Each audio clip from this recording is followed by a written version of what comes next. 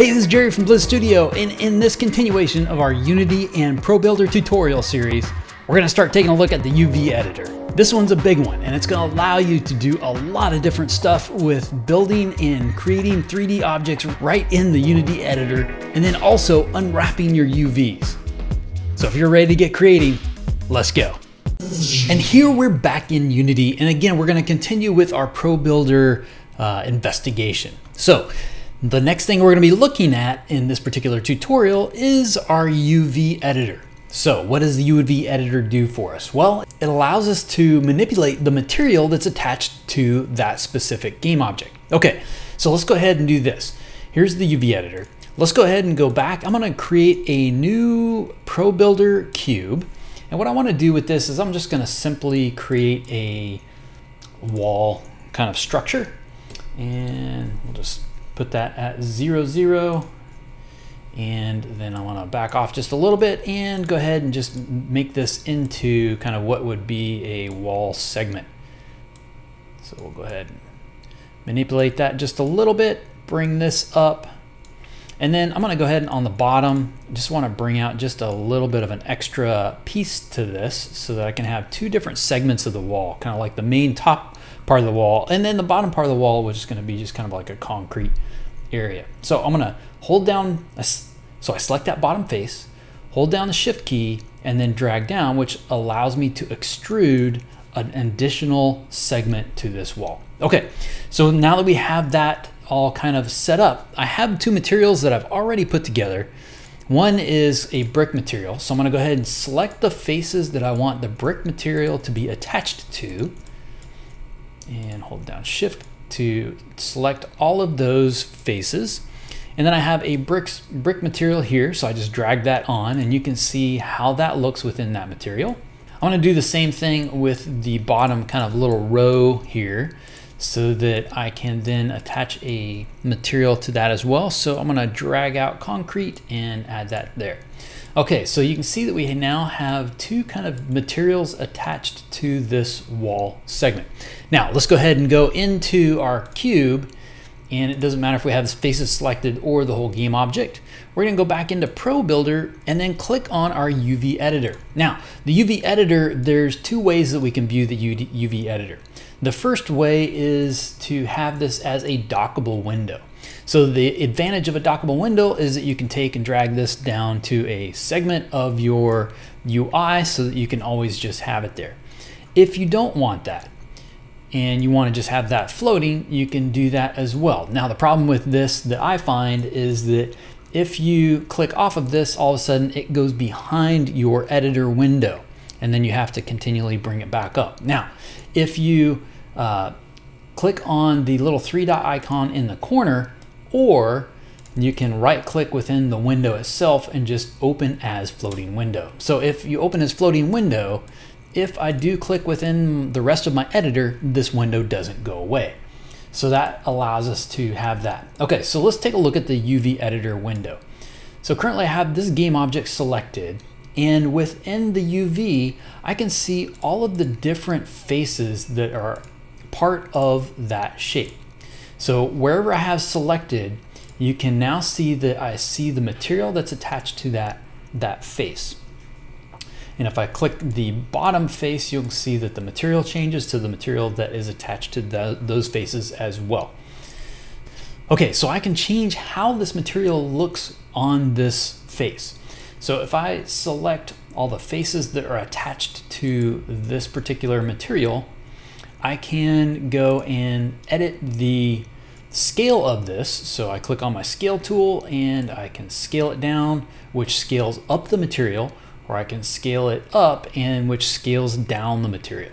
So I can do that on all the individual faces themselves. And then the next thing I want to look at is the actions panel. So basically the tools that I have here in, in the transform are all of the tools that I have up here. So it allows me to change the offset, so where that material is, uh, what the scale of the material is, so the tiling and what that size is, if we want to flip our UVs, so on and so forth. And so that gives me some basic control over a few of the options here. Now let's go ahead and close this window And then I'm gonna delete this game object and I'm gonna start from scratch. Okay, so then we can see more of the power of the UV editor. So I'm gonna go ahead and just start with a cube. So let's go with a ProBuilder cube. And let's make this a little bit bigger. And we're gonna take this cube and we're gonna change it down to be a position of zero, zero, zero. And then we're gonna take a look at maybe making this in some kind of a shrine or you know, temple stone, something that we would find in our game. So let's go ahead. I'm gonna make this a little bit thinner.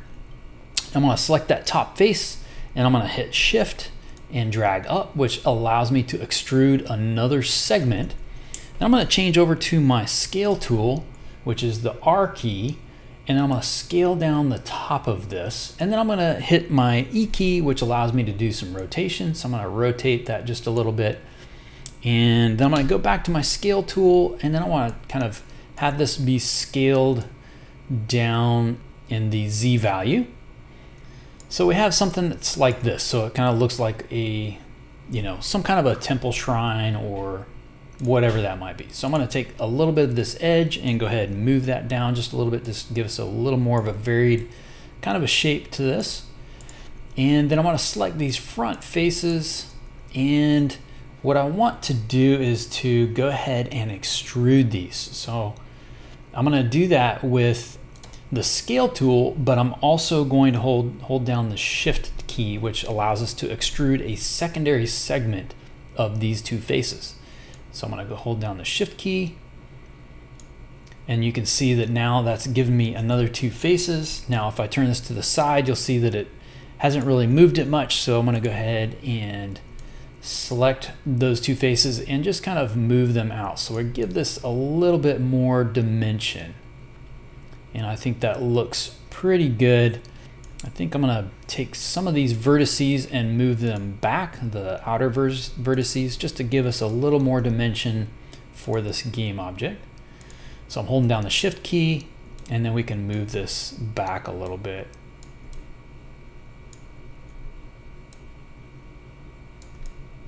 And I think that looks pretty good. So let's move these bottom two down just a little bit more too yeah, that works pretty good.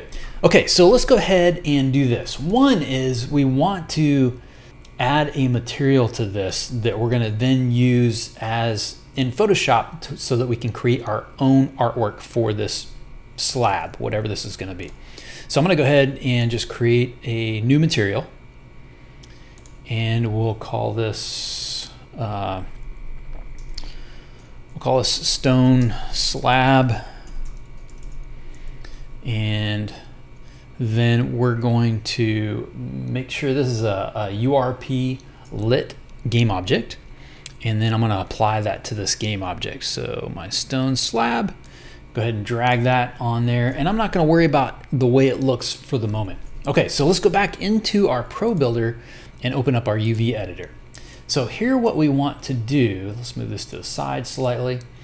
Here's where we want to see what's happening with the UV editor, and it's going to allow us to unwrap this game object. Okay, so I'm gonna select the faces that are there. And you can see here are representations of all of the outlines for each of the individual faces. Okay, so I'm gonna go ahead and select all of these, and I'm gonna convert to manual. Okay, so what that allows me to do is take all of these individual faces and then I'm gonna be able to combine them and then essentially unwrap this particular game object. Okay, so I'm gonna go ahead and select these two front faces right here and let's go ahead and select everything that's on that kind of more front facing uh, side of the, the kind of stone slab. And then what I'm gonna do is I'm gonna make these planar. Okay, so what it's gonna do is connect all of these individual faces together as one plane. So I'm gonna go ahead and click planar. Boom, you can see that now that's one individual kind of little segment. And they're all individual still, but they're all connected. The next thing I can do is you get a representation of where that material is. And I wanna go ahead and scale this down to fit my material. So let's go ahead and fit UV. And now you can see it fits within that kind of square area. So let's go ahead and do the same thing with the rest of these real quick. So I'm gonna go ahead and select those two faces, make those planar, and then fit UV. Let's go ahead and just move those over slightly. And then I'm gonna go ahead and do the other side. Um, make those planar and then fit UV, so that scales those down as well. And kind of move that over there a little bit. And let's move this out of the way real quick. And then I'll do this backside as well. Select those two faces and the top. And we'll go ahead and make those planar. And then we'll scale those down as well. Fit UV. And then I've got the bottom, which is the extra side. And I really don't need that, so I'm gonna go ahead and just delete it because we're not gonna see the bottom of this thing. Cool. So now that I have those, I can go ahead and take them and you can see how they fit within the UV space. And this is a representation, this square is a representation what size our material is and where that where our game objects fit within that. So if we want to create some artwork specifically for this, this gives us a way of doing that. So I'm gonna go ahead and just select these and I'm gonna scale them down. So let's go ahead and use our scale tool, scale that down because I wanna get everything to fit on there individually. And we'll select one of these and then I can also select island. Okay, so every all of the faces that are kind of connected allows me to select all of those together. So that's an island. So let's go ahead and move that down here. And then let's select this next one, select island. Go ahead and move that here. Select the next one. And I might have to kind of rotate these or play with these just a little bit, but we'll go ahead and again, select island move this over and I'm not going to have enough room for that last one. So what we're going to do is we're going to go ahead and select island and then we're going to rotate these particular faces so that we have a better fit for our, our UV. Cool. So now that we have that, here's one of the great advantages of our UV editor. I can now output the lines of this so I can then bring those back into Photoshop or whatever kind of artwork creation software you want to use so that I can then use that and create that create artwork for this game object. So I'm gonna go ahead and click on the camera icon. And what that's gonna do is allow me to export the lines that are here. So I can then bring that as a PNG into my software of choice, whether it's Photoshop or Illustrator or whatever kind of software you wanna use to create the artwork for this, this particular game object, okay? So for uh, some options that are here, we can choose different sizes. I'm gonna go ahead and just keep it with 1024. We can choose to whether to hide the grid or bring the grid back in. We can choose what the line color is. If we wanna include a texture, I'm gonna go ahead and turn that off. And then I'm also going to have a transparent background. So that way it's just the lines themselves. So I'm gonna go ahead and save this as a UV template. And I'm gonna save this into my sprites folder. And we'll call this slab .png. Okay, then I'm gonna go ahead and bring that into Photoshop. Okay, so here we are in Photoshop. It does have a transparent background and all my lines are there. So what I'm gonna do is go ahead and open up a new layer here real quick. And I want the stone slab to be kind of blue a little bit. Maybe a little bit on the darker side. We'll kind of play with this as we go, maybe a little bit lighter. And I'm gonna go ahead and just fill this. So we're just going to hit Shift F5, bring up our fill tool and go ahead and fill that. Go. So now we have, we have a color that fills this. And what I'm gonna do is I'm just gonna quickly go ahead and just paint some lines on here so we can add a little bit of flavor to this stone slab. So where all of the joints are, I'm gonna go ahead and just make this a little bit darker.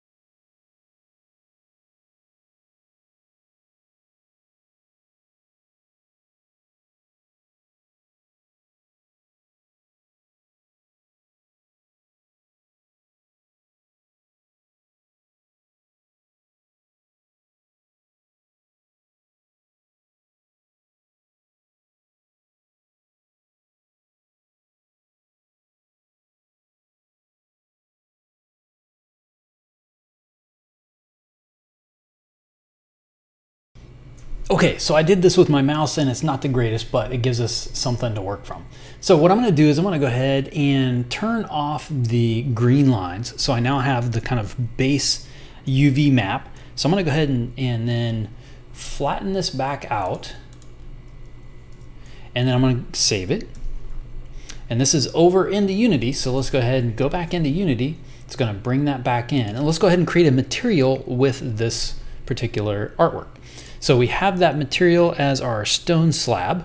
So all we really need to do is just bring that particular artwork into our material. So we're gonna go into sprites and I have this as a slab.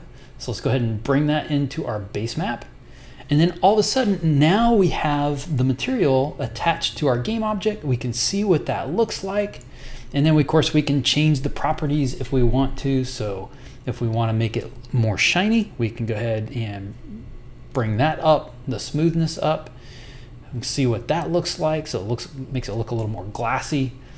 We can add also a normal map and a height map, but this gives us a way for us to start seeing what the UV is for us. So let's go back to ProBuilder, and then I'm gonna click my UV editor again, and if I select my game object, you can now see where those faces are in relation to the UV. And with that, you can see now that I can uh, rotate, I can do all kinds of different stuff with these particular shapes uh, directly in the UV. Okay, not that I necessarily want to do that, but you can see now how you can potentially unwrap your UV directly in Unity using ProBuilder. Hey, I know this was a little bit bigger tutorial, but I hope that you got a lot out of it. And again, please share these tutorials. And if you don't mind, hit like, subscribe, and that little bell icon down there so you know when the next tutorial is available. Until next time, peace.